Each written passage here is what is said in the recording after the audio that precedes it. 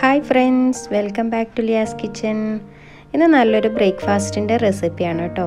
നമ്മൾ റവ വെച്ചിട്ട് നല്ലൊരു ഇഡ്ഡലിയാണ് ഇന്ന് ഉണ്ടാക്കാൻ വേണ്ടി പോകുന്നത്. അപ്പോൾ എങ്ങനെയാണ് ഇഡ്ഡലി റെഡിയാക്കണമെന്ന് നമുക്ക് നോക്കാം. അതിനായിട്ട് നമുക്ക് ആദ്യം തന്നെ റവ ഒന്ന് വറുത്തെടുക്കണം. അതിനായി ഞാനൊരു കടായി വെച്ചിട്ടുണ്ട്. അതിലേക്ക് കുറച്ച് വെളിച്ചെണ്ണ ഒഴിച്ചു കൊടുക്കാം. ഈ വെളിച്ചെണ്ണ ഒന്ന് ചൂടായി വരുന്ന സമയത്ത് നമുക്കിതിലേക്ക് ഒരു കാൽ ടീസ്പൂണോളം കടുക് ഇട്ട് കൊടുക്കാം. നമ്മൾ കടുകൊക്കെ ഒന്ന് പൊട്ടി തുടങ്ങി കഴിഞ്ഞാൽ പിന്നെ നമുക്ക് ഇതിലേക്ക് ഒരു കാൽ ടീസ്പൂണോളം ഉഴുന്ന് പരിപ്പാണ് ചേർത്ത് കൊടുക്കുന്നത്. ഉഴുന്ന് പരിപ്പ് ഒന്ന് പൊട്ടിക്കഴിഞ്ഞതിന് ശേഷം നമുക്ക് കുറച്ച് കറിവേപ്പില കൂടെ ഇട്ട് കൊടുക്കാം.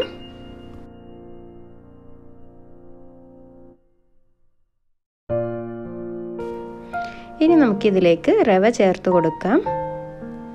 അപ്പോൾ റവ ലോ ഫ്ലെയിമിൽ വെച്ചിട്ട് വേണം കേട്ടോ വറുത്തെടുക്കാൻ വേണ്ടിയിട്ട്.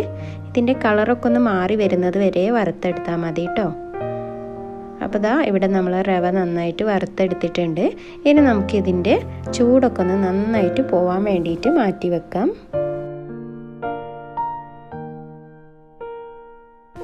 അപ്പോൾ ദാ നമ്മുടെ റവ നന്നായിട്ട് ചൂട് തണിഞ്ഞിട്ടുണ്ട് കേട്ടോ.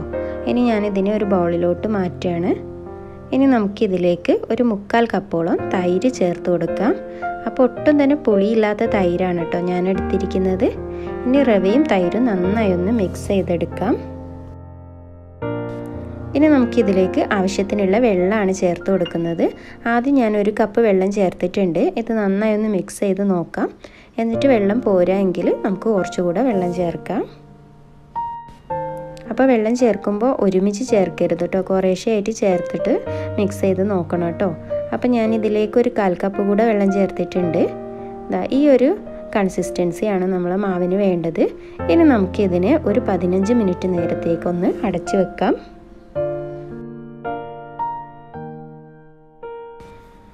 ഇപ്പോൾ ദാ പതിനഞ്ച് മിനിറ്റ് കഴിഞ്ഞിട്ടുണ്ട് കേട്ടോ നമ്മൾ വെള്ളമൊക്കെ മാവിൽ നന്നായിട്ട് കുടിച്ചിട്ടുണ്ട്. ഇനി നമുക്കിതിലേക്ക് വെജിറ്റബിൾസ് ചേർത്ത് കൊടുക്കാം. അപ്പം ഞാനിവിടെ ബീൻസും ക്യാരറ്റും മല്ലിയിലയാണ് എടുത്തിരിക്കുന്നത്. അതൊന്ന് ചെറുതായിട്ട് മുറിച്ചെടുത്തതാണ് കേട്ടോ ഇനി നമുക്കിത് നമ്മുടെ റവയിലോട്ട് ഇട്ട് കൊടുക്കാം.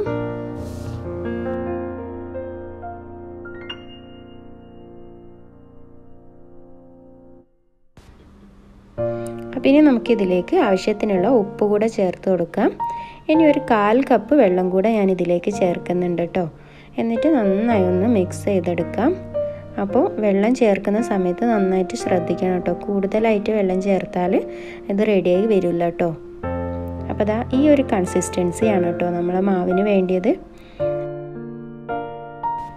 അപ്പോൾ നമ്മുടെ മാവ് ഇവിടെ റെഡി ആയിട്ടുണ്ട്. ഇനി നമുക്ക് പെട്ടെന്ന് തന്നെ ഇഡ്ഡലി റെഡിയാക്കി എടുക്കാം. അതിനായിട്ട് ഞാൻ ഇഡ്ഡലി തട്ടിലോട്ട് കുറച്ച് ഓയിൽ സ്പ്രെഡ് ചെയ്ത് കൊടുത്തിട്ടുണ്ട്. എന്നിട്ട് ഓരോ സ്പൂൺ വീതം നമുക്കിതിലേക്ക് ഒഴിച്ചു കൊടുക്കാം.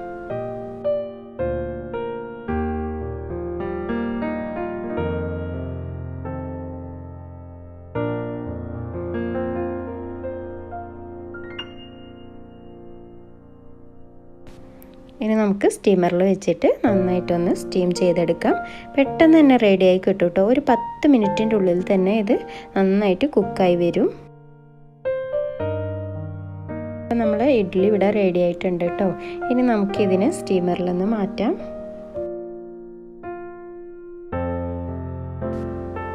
അപ്പോൾ നമുക്ക് വളരെ ഈസി ആയിട്ട് ഉണ്ടാക്കിയെടുക്കാൻ പറ്റിയ ഒരു ബ്രേക്ക്ഫാസ്റ്റ് ആണ് കേട്ടോ.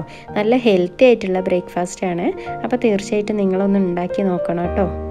എന്റെ വീഡിയോ നിങ്ങൾക്ക് ഇഷ്ടമായിട്ടുണ്ടെങ്കിൽ ലൈക്ക് ചെയ്യാനും കമന്റ് ചെയ്യാനും ഒന്നും മറക്കരുത്. അതുപോലെ തന്നെ ചാനൽ ആരെങ്കിലും ആദ്യമായിട്ട് കാണുന്നവരുണ്ടെങ്കിൽ ഒന്ന് സബ്സ്ക്രൈബ് കൂടെ ചെയ്തേക്കണം കേട്ടോ. അപ്പം മറ്റൊരു പുത്തൻ റെസിപ്പിയുമായി കാണുന്നത് വരേക്കും. ബൈ